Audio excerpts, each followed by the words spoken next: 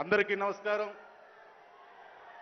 మన జననేత సంక్షేమ సారథి మన ముఖ్యమంత్రి వర్యులు శ్రీ వైఎస్ జగన్మోహన్ రెడ్డి గారు ముఖ్యమంత్రి హోదాలో మొదటిసారిగా మన పెద్దాపురం నియోజకవర్గం ఇచ్చేసిన సందర్భంగా మనందరి తరపున ముందుగా జగనన్నకు స్వాగతం పలుకుతూ అలాగే వేదిక మీద ఆశీనులైనటువంటి మంత్రివర్యులకు శాసనసభ్యులకు పార్లమెంటు సభ్యులకు శాసనమండలి సభ్యులకు వివిధ కార్పొరేషన్ చైర్మన్లకు అధికారులకు మరి ముఖ్యంగా జగనన్నను స్వయంగా కలిసి మీ ఆశీస్సులను అందజేయడానికి వచ్చినటువంటి జగన్ సేనానులందరికీ కూడా నా హృదయపూర్వక కృతజ్ఞతలు తెలియజేసుకుంటూ అన్న అక్టోబర్ ఇరవై ఐదు రెండు వేల ఏడు గురువారం మాజీ ముఖ్యమంత్రి వర్యులు మరపురాని నేత శ్రీ వైఎస్ రాజశేఖర రెడ్డి గారు మా సామర్లకోట పట్టణాన్ని విచ్చేసి ఆ రోజు రాష్ట్ర గృహ నిర్మాణ సంస్థ ఆధ్వర్యంలో నిర్మితమైనటువంటి రాజీవ్ గృహకల్ప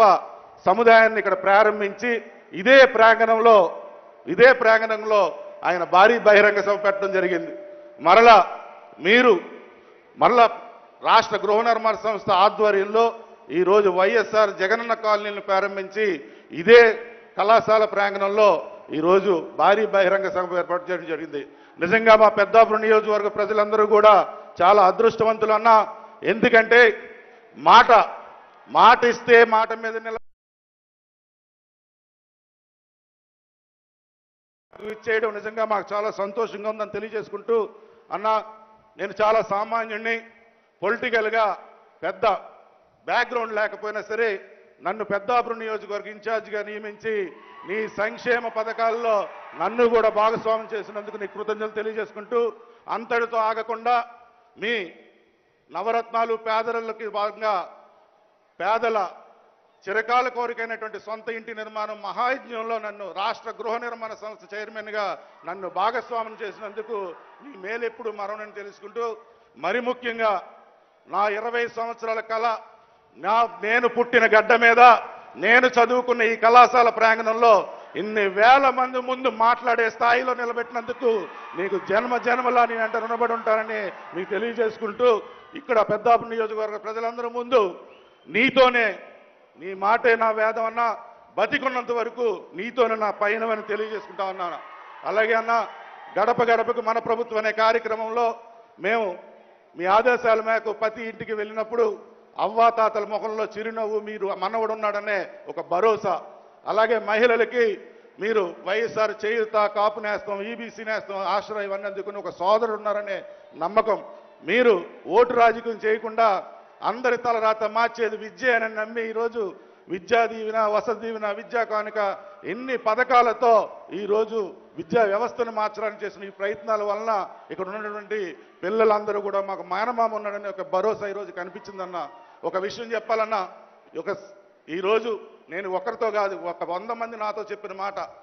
తెలుగుదేశం సానుభూతి పనులు ఇంటికి వెళ్ళినప్పుడు వాళ్ళు చెప్పిన మాట ఏంటంటే మేము చంద్రబాబు నాయుడు గెలిపించుకున్నాం మాకు ఒక పైసా ఉపయోగం లేదు ఆ రోజు జన్మభూమి కమిటీల్లో ఆ రోజు వాళ్ళే దోచుకు తినేవారు ఈ రోజు జగనన్న వచ్చిన తర్వాత మేము వైఎస్ఆర్సీపీ పార్టీ ఓటు వేయకపోయినా సరే ఈరోజు మాకు ఈ కులం చూడకుండా రాజకీయం చూడకుండా మాకు రైతు భరోసా విద్యా కానుక ఇవన్నీ వస్తూ ఉన్నాయి.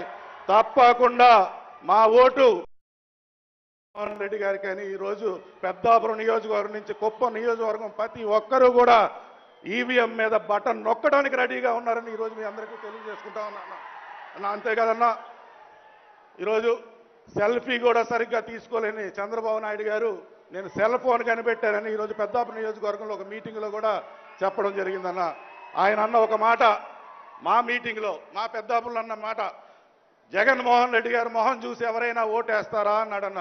ఒక్కసారి ఒక్కసారి జగన్మోహన్ రెడ్డి గారు మొహం చూడండి.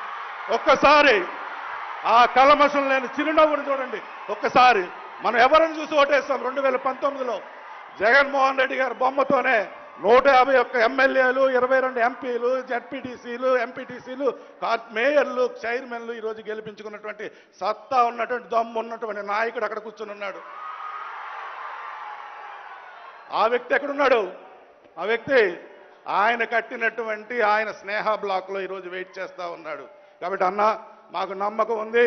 ఇక్కడ ఉన్నటువంటి ప్రజలందరికీ నమ్మకం ఉంది.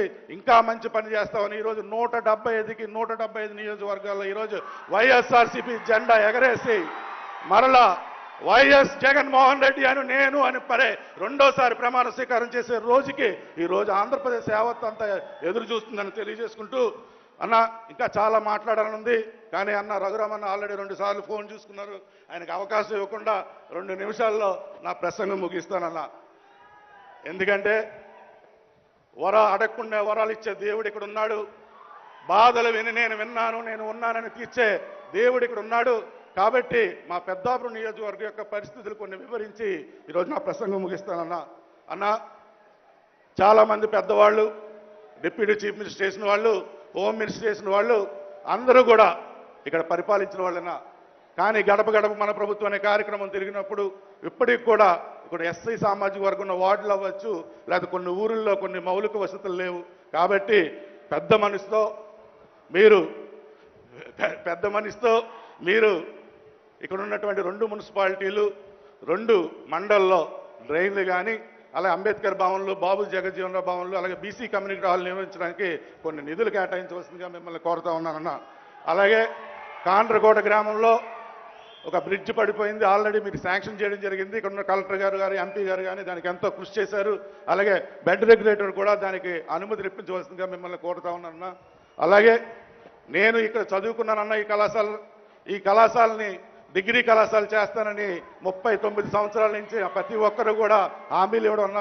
దీన్ని డిగ్రీ కళాశాలగా అప్గ్రేడ్ చేయవలసిందిగా మిమ్మల్ని కోరుకుంటూ చివరిగా ఇక్కడికి వచ్చేసిన ప్రతి ఒక్కరికి కూడా మనకంటే మన కుటుంబ సభ్యుల కంటే మన కోసం ఎక్కువగా ఆలోచిస్తున్నటువంటి వ్యక్తి శ్రీ వైఎస్ జగన్మోహన్ రెడ్డి గారు మరియు వారి కుటుంబ సభ్యులు ఎప్పుడూ కూడా ఎప్పుడూ కూడా ఆయురాలతో సుఖ సంతోషాలతో ఉండ ఆయన ముప్పై నలభై సంవత్సరాలు ఆంధ్రప్రదేశ్ ముఖ్యమంత్రిగా వచ్చి ఇంకా పెద్ద పదవిలో మనకి మేలు మనకి మేలు చేసే పొజిషన్లో ఉండాలని మీరు ప్రతిరోజు మీ కుటుంబ సభ్యుల కోసం మీరు ఏ ప్రార్థన చేస్తారో ఏ దేవుడైనా సరే జీసస్ అవ్వచ్చు అల్లా అవ్వచ్చు వెంకటేశ్వర అవ్వచ్చు ఒక్క నిమిషం మన నేత మాట ఇస్తే మాట మీద నిలబడే వ్యక్తి నిజాయితీపరుడు మంచి మనసున్న వ్యక్తి జగన్మోహన్ రెడ్డి గారి కోసం ఒక్క నిమిషం మీరందరూ కూడా ప్రార్థన చేయమని మిమ్మల్ని అందరినీ కోరుకుంటూ జై జగన్!